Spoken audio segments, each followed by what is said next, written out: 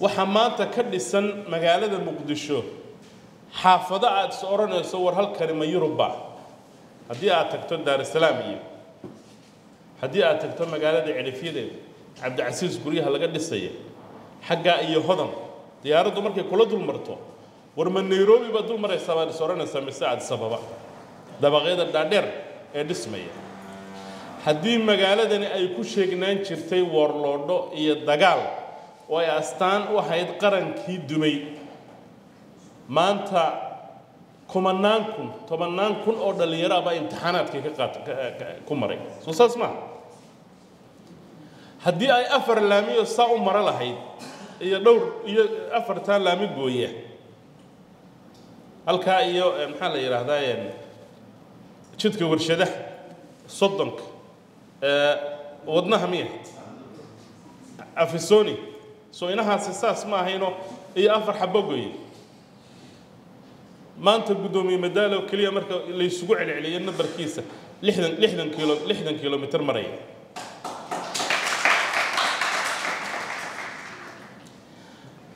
Horta sida aynu u ildarannahay uma alaliin. Gobolka banaadir maamulkiisu wuxuu ku shaqeeyaa duruuf adag. Waayo magaalada muqdisho wixii qaranka ku dhaca culayska ugu badan baa iyadana ku dhaca haddii dalka lagu dagaalamo dagaalkii ugu cuslaabaa ka dhacayay. Haddii laga qaxo qaxii ugu weynaabaa ka dhacayay. Haddii loolanka iyo hirdanka siyaasadda soomaaliyeed lagu loolamayey de halkana madax mataqaanaa fadhiisinkii madaxda ahayd oo lagu loolamayey haddii fikrado khaldan iyo afkaaro iyo faragelin ay nagu imanaysana disproportional weight ayaa ku dhacaya magaalada waa magaalo markaa dadku ay develop gareeyeen resilience ay iskaga ilaaliyaan. Halisaha laakiin resilienckii ay develop gareeyeen mid wuxuu noqday abaci mushtariguna uu isku tashado bahda waxbarashaduna isku tashato bagaashleyduna isku tashato culammadu isku cid waliba ay isku tashato. Hadda laakiin waxaynu maraynaa heer taladii laysu geegeeyey oo baaca mushtariga soomaaliyeed iyo gobolka banaadir intay iskaashadaan bay intaasoo wadda wada dhisan soo saas maaha weli faanole fare kama qodna. Waxaan rabaa bal in yar inta aan ka fahmay magaaladan taariikhda ay soo martay xagga biyomarinadeeda markaan culimmada waraystay. Siyaasiyiintu shaqadoodu waxa weeye intay dadka inta wax garanaysa dhegaystaan. Inay microfoonka la soo fuulaan oo dadka inta kale u sheegaan. Ma aha muhiim in uu siyaasigu wax walba aqoon u leeyahay. Laakiin waa in dadka aqoonta u leh ee ehelka u ah sida mataqaanaa maxamed nuur caddo oo kale oo arrintan muddo ka soo shaqaynaya heer gobol iyo heer mataqaanaa wasaaradeedba inaynu fahanno war webigan madaale la sheegaya xagguu ka yimi idhinku madaalow biyihii maaraynayuunbaad la kowsateene. Magaaladan bilowgii hore itaaliyaanku markuu joogi jiray saddex degmo keliya biyomareen lahaa. Waa xamarweyne shingaani iyo cabdicasiis markii dowladnimadii ay kobacday ee gobolladii iyo goofafkii laga wada yimi ee reer kooraad oo dhammi yimaadeen magaaladii waa weynaatay markay weynaatay nidaam cusub baa la bilaabay oo warahaa aada garanaysaan ee magaalada ku dhex yaalla ee siigaale ka mid tahay ee howlwadaag ka mid tahay ee wardhigle ka mid tahay ee saa u teedsan ee boondheere ka mid tahay ayaa la sameeyeyo biyaha inna bacaadkaa nuugi jiray intii soo baxsatana meelahaasaa lagu keydin jiray oo si yar baa loo maarayn jiray. Waa degmooyinka inahaasa.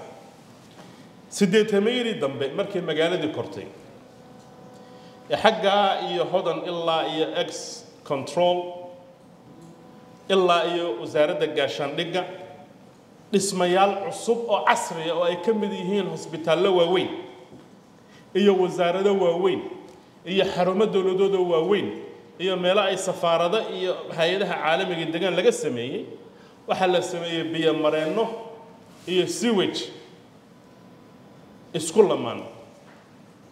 Ayaa la sameeyey oo intay halkaas soo maraan oo biyahan iyo waxaan isku darsamaan ay tegi jireen meel jasiiro ka sokaysa oo biyaha halkaa lagu sifayn jiray oo wixii wasakha laga reebi jiray inta kalena badda lagu lagu lagu sii dayn jiray. Wixii halkaa ka soo baxana ee sifaynta ana bacriminta loo sii gudbin jiray. Soddon sanno markaynu dalkii iska burburinay arrimaha gacan baa looma qaadin dhulkiina waynu wada dhisnay. caawa xamar bogcad bannaan oo bacaad bacaad leh. Sida loo arka wayarta waxaasoo dabaqa iyo waxaasoo dara ku nool. Awood ay keli mataqaanaa gobolka banaadir uu arrintaa ku fulin karo. Lama arko. Waa sababta wasaaraddii howlaha guud halkan ay u joogto? Annaga oo xukuumadda halkii u sarraysay aanu joogno waa arrin la yska kaashan doono boqolaal milyan oo dollarka maraykanka ah. Haddii aanay bilyanba kor u dhaafayn ayaa ku baxaysa in la helo hab sustainable ah oo kobaca iyo korarhka ku imanaya ilaan magaalooyinku cilmi baa lagu maamulaa. Waxaa la eegaa magaalada populationkeedu intee buu koraya? Waxaa la eegaa dhismaheedu intee buu koraya? Waxaa la eegaa infrastructure-ku sidee isugu xidhxidhanya intaasaa markaa boqcaddiiba intee qof baa ku nool baa la eegaya. Xamartu horta xamartii aynu naqaanay. Ee meeyarkoodu intuu ul iska qaatay oo iska dhex lugayn jiray hadda usha madaale dambe maahee waa tii hore ragga militarigu ay ay haysan jireen.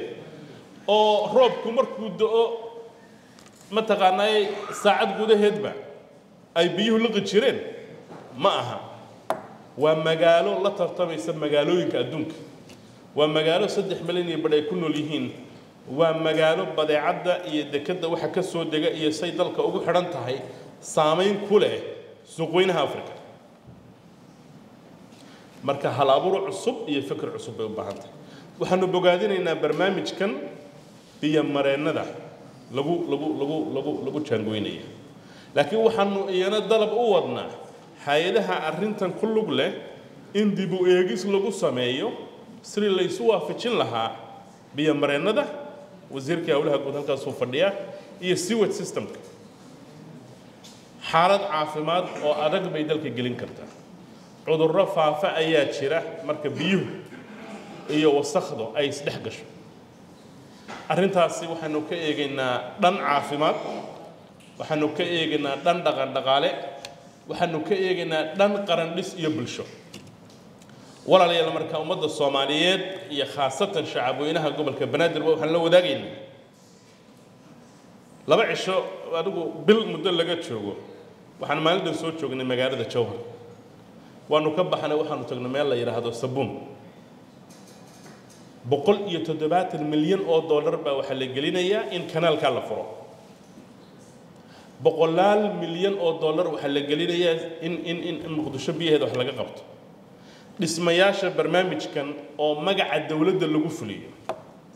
Waa run deeqbixintu waxaa laga yaabaa inay dibad ka timaado laakiin deeqbixiyuhu wuxuu wax amaahiyaa ama wax siiyaa ama wax ku deeqaa waa qaran.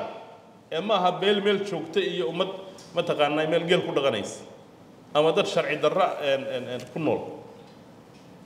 Haddii aad ka soo bilowda magaalada garowe waxa laami laga dhisay ee barnaamijkan uu ka dhisay wasaaraddu ay gacanta ku hayso waad waad yaabaysaa dhuuso mareeb dhismaha ka socda horumarka ka socda waa waa waa wax la taaban karo la qarin karo.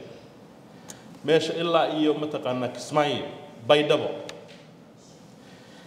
Guulahaasi markay isgaargaadhaan baa ninkii baac mushtariga ahaana uu badeecadiisii si furud u gudbinayaa ardaygiina uu si furud iskuulka u imanayaa nolosha ummadduna ay u hagaagaysaa.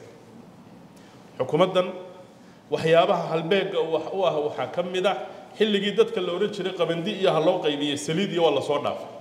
Wax soo saar.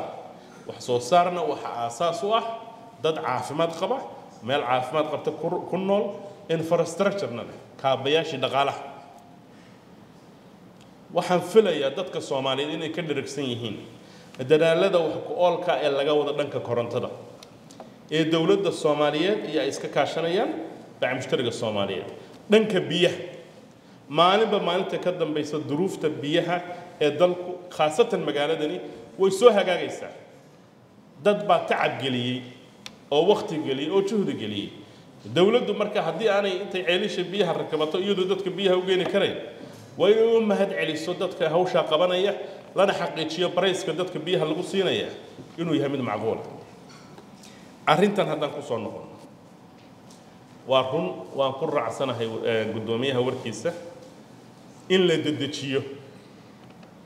Projectkan in la dedejiyo oo waktigii loogu talagalay ay ay ku dhacdo. Kow in doorka dowladda federaalka ee ah wacyigelinta raadinta maalgashiga korjoogtaynta garabsiinta mataqaanaa maamulka in aanu xoojinno maamulkuna uu dardargeliyo howlaha hay-adaha fulinaya xilligii soomaaliya wixeedu ay iska furnaan jireen waa la soo dhaafay dadkii soomaaliyeed waxay dalbanayaan waxqabad mar haddii nabadi timi oo oo maantaba ceeldheer iyo aadan yabaal iyo runirgood iskuulaad lagu dhiganayo laba sanno ka horna aadan yabaal ay ka furnayd xarun weyn oo khawariijtu ay wax ka hoggaamiso adeeg baa laga sugaya adeegga ugu horeeya meesha muraayadda ah ee laga cabirayo dadka soomaaliyeedna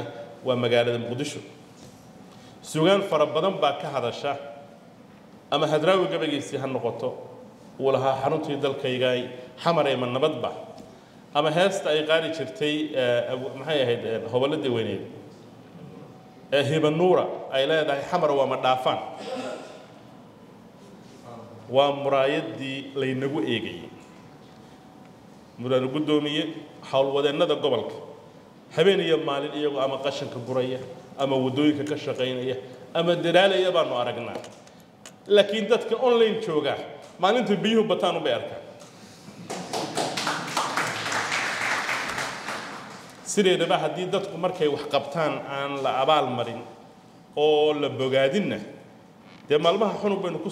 waa kii madaxweynuhu sheegaya dadka maalmaha qiyaamaha sheega qiyaamo iyo wax khariban baa laga soo warramayaa xamar sidii ay ahaan jirtay sanad ka hor maaha laba ka hor si ahaan jirtay maaha toban ka hor si ahaan jirtay maaha dadaalkaasi waa dadaal bulshada soomaaliyeed iyo dowladnimo ku yimi ma cid baa waxay dhisan jirtay meeshan markii ay bahlagaleen kahay kuwa siyaasaddu meel bilaa dastuura oo bilaa sharci ah cidna maalgashan mayso laakiin marka sharciyad la helo oo dastuur la helo oo dad sharci ku noola la helo waa lagu soo dhiiranaya dadka soomaaliyeed kama dadaal yara kama aqoon yara kama dadnimo xuma dadka kale ee waaye adag baa soo maray waayihiina waynu ka soo baxaynaa guddoomiye waanu kula shaqayn doonaa wasiirka oo nin aada u firfircoona ayaa hawshaa gacanta ku haya